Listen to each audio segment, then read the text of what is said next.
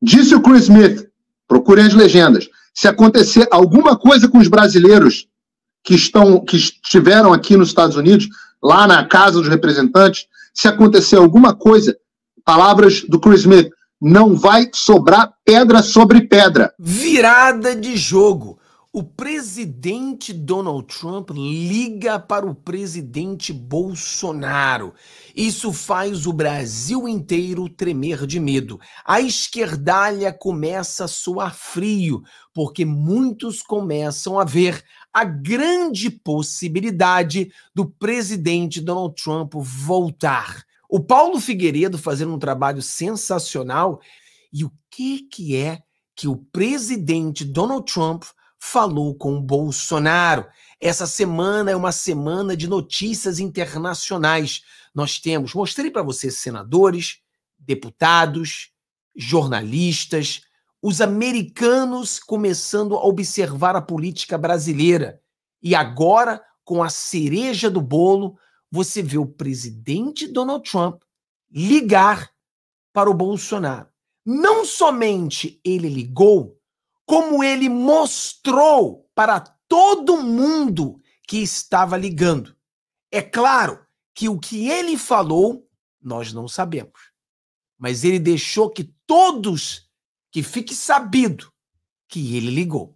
Meu nome é Fábio e vamos falar sobre isso hoje, sobre essa ligação o que que o presidente Donald Trump falou ao Bolsonaro. Compartilhe esse vídeo com seus amigos, dar o joinha. Vamos tentar analisar isso aqui. Vamos olhar a grande mídia, que é a grande mídia com muito medo falando sobre isso. Vamos lá. Olha só, pessoal. Bolsonaro e Donald Trump conversam por vídeo. Olha, saibam o que falaram. Em conversa intermediada por Eduardo, que se reuniu com Trump nos Estados Unidos, Bolsonaro e o candidato à Casa Branca falaram sobre expectativas. Aqui você tem a foto aqui mostrando para vocês que estavam juntos. Eu assisti depois uma live com o Eduardo Bolsonaro. Claro que o Eduardo Bolsonaro não pode falar do que realmente eles conversaram, mas ele bateu um papo, que eram seis pessoas, que eles estavam todos juntos e bateram um papo interessante. Mas a gente vai falar mais hoje às 15 horas mais sobre isso. O ex-presidente Jair Bolsonaro conversou por um vídeo com Donald Trump, o ex-presidente dos Estados Unidos, que disputará o comando na Casa Branca das eleições de novembro. A chamada foi intermediada por Eduardo Bolsonaro, que jantou com Trump no resort Mar-a-Lago, propriedade do norte-americano na Flórida. A coluna, a coluna Jair Bolsonaro, entendi, a coluna Jair Bolsonaro detalhou a videocall. Foi uma conversa rápida e boa. Boa parte do mundo, assim como eu, torce pela volta dele à Casa Branca. Nós quatro, né, nos quatro anos dele na presidência, o mundo caminhou bem, sem problemas, disse, referindo-se à escalada de conflitos internacionais. Aqui você vê claramente, ó, é o presidente é Donald Trump, e aqui você vê a, aqui no, no, no videoconferência, o presidente Bolsonaro. Aí você tem aí, ó, fotos passadas, né? O Bolsonaro e o Trump batendo um papo. Bolsonaro, Eduardo, Bolso... é meu, Trump Eduardo Bolsonaro. Interessante, né? Falamos sobre a expectativa de que as coisas melhorem, sobre os Estados Unidos, sobre o Estado democrático de direito, enfim, sentindo os ódios do Trump que ele gosta de mim e que eu gosto dele, concluiu Bolsonaro sobre o aliado. Segundo a última pesquisa, Reuters e o IPSO, Trump está tecnicamente empatado com o presidente Joe Biden na disputa pela presidência dos Estados Unidos. O DJ, é, Donald Trump, o, o, jantar de Eduardo Bolsonaro com Trump em Mar de Lago rendeu quase quatro horas de conversa e teve um caráter informal. O deputado Mário Frias também participou do encontro. Servida a comida, Trump selecionou em um iPad as músicas que per, é, permearam na reunião. Entre artistas, escolheu Frank Sinatra, Guns N' Roses, Aerosmith, blá, blá, blá, blá, blá, blá. Então, pessoal, é claro, galera, que eh, o Trump não vai, ou o Eduardo Bolsonaro, ou, ou o próprio Bolsonaro, vai dizer o que foi falado nessa conversa. O que nós podemos analisar aqui é que nos últimos dias nós estamos experimentando uma ligação muito forte entre os Estados Unidos e o Brasil. O Paulo Figueiredo, fazendo um trabalho sensacional, ele tem. Olha só, olha esse vídeo aqui do Paulo Figueiredo. O que a gente fez foi histórica. Idiotas da grande mídia. Parem de repetir que a coletiva foi na rua, porque vocês são muito burros. Vocês são muito. Tem uns mal intencionados, é claro, mas vocês são muito burros. Entrem no Google, digitem lá na Wikipedia que seja e botem lá House Triangle. House Triangle, triângulo da casa. Esse é o lugar mais disputado entre todos os que existem dentro de Washington para você fazer uma coletiva de imprensa por causa do fundo do Capitólio. Aquele púlpito que vocês viram lá, onde estavam os microfones, aqui, e, pelo amor de Deus, gente, hoje a maioria dos microfones são pequenininhos desse tamanho, a gente não precisa mais daquele microfone grande na nossa cara. Vocês são jornalistas, tinham que saber disso. O, o, o, aquele púlpito que vocês veem ali, ele é fixo. Ele é um púlpito que está ali o tempo inteiro. E ele está ali o tempo inteiro porque depois da nossa coletiva, tinha uma outra coletiva já esperando para entrar na fila. Você tem um horáriozinho ali marcado para poder aproveitar de tão prestigioso que é você fazer uma coletiva no House Triangle. Não bastasse ser tão prestigioso, a gente teve simplesmente o congressista mais antigo dos Estados Unidos, membro do Comitê de Relações Exteriores, membro sênior do Comitê de Relações Exteriores, presidente do Subcomitê de Direitos Humanos, que é o que nos interessa, o Chris Smith, que graças a vocês embarcou completamente em relação ao Brasil. Eu, eu hoje descobri que o Chris Smith, coitado, está com pneumonia, tomou um shot antibiótico com vitamina B12 e o cacete fez um negócio intravenoso para poder ir para essa coletiva de imprensa, para não cancelar mal pra caramba. O cara foi lá e fez um discurso poderoso. O que, que o Chris Smith falou? E vocês têm que prestar atenção nisso. O que, que ele falou? Número um, ele é o oficial de maior hierarquia que a gente tem aqui no Congresso dos Estados Unidos, falando pela primeira vez abertamente que o Brasil é uma ditadura, que as, os nossos direitos humanos têm sido violados. Segunda coisa que ele falou, importantíssima, que ele está comprometido a fazer audiências sobre o Brasil. E a terceira coisa que ele falou, importante, são quatro que eu vou falar aqui. A terceira coisa importantíssima que ele falou. Ele falou que está introduzindo, ou vai fazer nas próximas semanas, eu estou aqui acompanhando, é, não sei se eu posso mostrar aqui, no ar aqui, vou, vou pelo menos um, um trecho aqui para vocês. É, eu não vou eu não vou entrar aqui em detalhes, mas isso aqui é um pouco do que a gente está é, desenhando como resolução para o Brasil. Páginas e páginas e páginas que tem penalidades. Uma pessoa que viola ou tente, tente violar, conspire a violar ou cause a violação dessa sessão ou de alguma regulação ou licença deverá estar sujeita às seguintes, penaliza às, seguintes penalidades,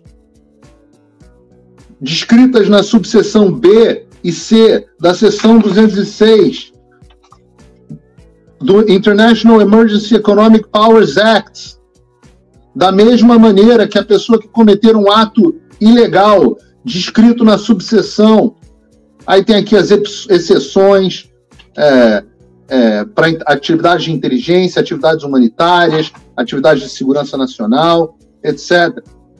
Título 3, promovendo os direitos humanos. Aqui está tudo aqui, é, não, é, não é brincadeira. É, o projeto de lei vai ser apresentado. Um projeto de lei sobre o Brasil dentro do Congresso dos Estados Unidos.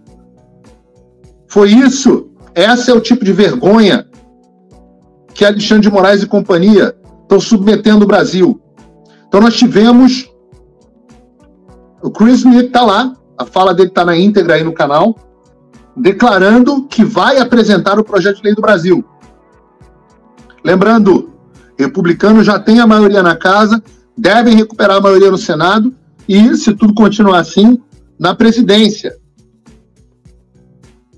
Isso não é brincadeira, não. É brincadeira, não. Eu não quero. Eu não quero aqui é, dar spoiler, mas tá aqui. que mais?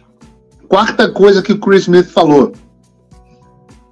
Foi muito elogioso. E disse: estamos falando de um dos homens mais influentes do Congresso dos Estados Unidos. Aqui desde 1981, antes de eu nascer. Falou que se acontecer alguma coisa com. Primeiro nos elogiou, disse que nós somos pessoas muito corajosas, e eu fico muito feliz de ouvir isso de alguém que passou por tantas administrações, tantos governos, mas disse o seguinte, e fica esse aviso para o Brasil: tomara que vocês façam alguma coisa, porque a cada coisa que vocês fazem, eu aumento a minha penetração aqui dentro.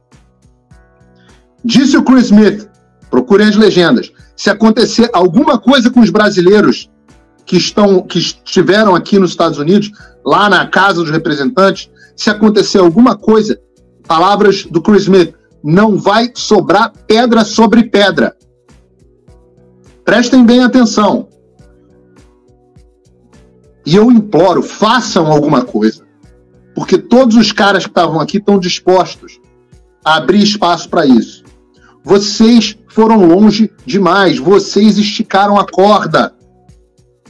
Era para eu estar na, na boa, fazendo jornalismo e não lutando aqui pela sobrevivência do meu país. Mas, Paulo, por que você não está simplesmente fazendo jornalismo agora? Porque eu não consigo. Porque meus canais estão bloqueados. Pois bem, depois da reunião com Chris Smith, graças ao bloqueio que vocês aí do Brasil Washington Office, pessoal que veio aqui e é, é, ligou para uma McCormick para bloquear nossa nossa audiência, muito obrigado. Muito obrigado. Eu já agradeci ao Alexandre por permitir que eu tá no, é, me colocar no lugar que eu tô. Eu sou recebido hoje por qualquer congressista dos Estados Unidos graças ao Alexandre. Eu sou recebido em organizações, eu sou recebido em think tanks. Porque, e o que, que eu preciso fazer? Nada. Eu só digo o que o Alexandre fez comigo. E o choque é tão grande no mundo civilizado, esse que ele acha que está copiando ele, o choque é tão grande que eu passo a ser recebido onde quer que seja. Então, aqueles que agiram para bloquear a audiência, muito, meu muito obrigado. Vocês permitiram com que o Congresso dos Estados Unidos, que estava dando pouca atenção para o assunto do Brasil, passasse a olhar e falar assim: uma audiência foi bloqueada pelo McCormick, que é uma, um vilão aqui, é um é, amigo de Cuba, é um amigo do Foro de São Paulo, é um amigo das Farc, é o que eu ouço aqui de todos eles.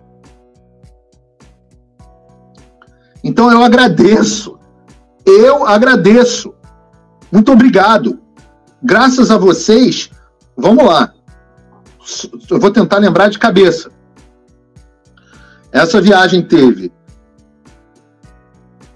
congressista, congressista Ruzenga, Comissão de Relações Exteriores, congressista Maria Elvira Salazar, a presidente do Subcomitê de Ocidente, também do Comitê de Relações Exteriores. Mulanar, congressista Mulanar. Sabe o que o congressista Mulanar falou? Vamos fazer audiências separadas no Comitê de Apropriações, que é quem cuida do orçamento, porque nós vamos apresentar medidas para que se corte a ajuda financeira que é enviada ao Brasil. Se o Brasil realmente virou uma ditadura, e a gente vai determinar isso em audiências, novas audiências virão. Essa agora no Comitê de Apropriações. Marcou reunião com o congressista Ballard. Pô, tem tanta gente aqui. Congressista. Mo ah, esse é fantástico, né? Vocês viram aquele filme com o Mike Wahlberg, né? O ator representa o congressista Morgan Luttrell, Luttrell, que eu não conhecia, eu conheci hoje, também se propôs a ajudar o Brasil. Congressista McCormick, Rich McCormick, já sabia sobre tudo que estava acontecendo no Brasil, era o único. Tem o chefe de gabinete dele, é brasileiro, da Geórgia, já sabia tudo que estava acontecendo no Brasil e ficou estu estupefato com o que estava acontecendo.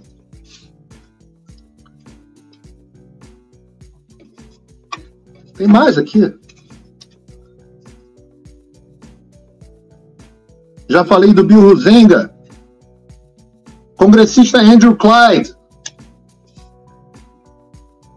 Congressista Andrew Clyde. Também se dispôs a nos ajudar. Como você pode ver, o Paulo Figueiredo, ele tem feito um trabalho sensacional. E ele mostra que quatro pontos que já existe um lofote ao Brasil. Quatro pontos que foca esse, esse holofote no Brasil e que, como ele mesmo falou, se alguma coisa acontecer por retaliação do Alexandre de Moraes a essas pessoas, isso pode pegar muito mal. E eles aqui nos Estados Unidos irão investigar, irão levar isso para o lado pessoal da coisa. E não vem me dizer você que isso não é muito importante. O presidente Bolsonaro conversar com o presidente Donald Trump. São duas lideranças de dois países gigantescos. Então a gente precisa entender a seriedade dessas coisas. Mas, Fábio, e assim com isso, o Bolsonaro pode ser preso? Pode. Mas o presidente Donald Trump ganhando, a gente pode virar esse jogo? podemos virar esse jogo. Então, o que nós temos que torcer é para a vitória do presidente Donald Trump, para que essa vitória possa fazer uma mudança no Brasil. Porque com o Partido Democrata na presidência, fica difícil dos Estados Unidos fazer qualquer coisa. Então, eu acho que a gente tem que focar nisso aí. As coisas.